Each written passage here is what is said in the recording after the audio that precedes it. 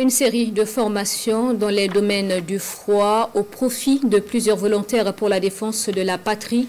L'entreprise New Cold System, en collaboration avec la Brigade nationale des VDP, à l'initiative à terme la création d'un camp militaire de VDP dans la réfrigération et la climatisation pour accompagner la reconversion des VDP. Césaire Carrefour, Romial Patrice Toué.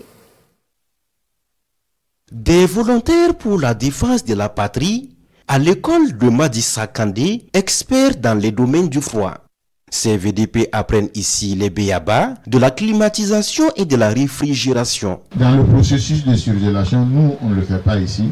On, essaie de congeler, donc on, on, concasse tout, on, on, prise tout dedans et à la fin de compte, vous sortez le, le poisson là, il est fourni comme ça, mais il est congelé.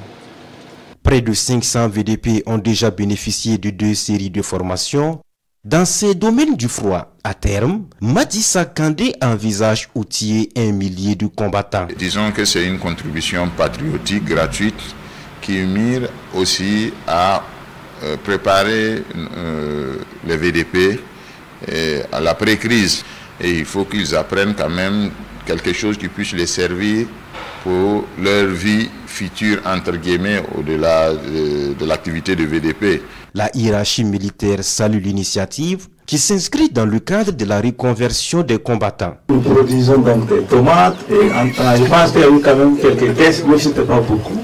Donc, faut, des choux. Des choux, parce que les gens n'ont pas pu quitter la bourse pour venir enlever à temps. Quoi. Donc, ça les amène à comprendre ce que c'est que produire et stocker.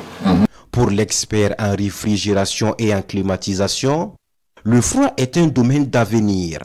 C'est un pilier sur lequel le Burkina Faso peut s'appuyer pour son développement socio-économique. Le froid peut créer des opportunités d'emploi pour la jeunesse, la question de santé. Donc le froid, c'est un secteur transversal qui sert aujourd'hui, mais surtout à construire des bases pour l'avenir. On ne peut pas parler de développement socio-économique dans un pays sans développer le froid. Vous avez, vous allez considérer un train et les rails sont l'agriculture, l'élevage et la pêche.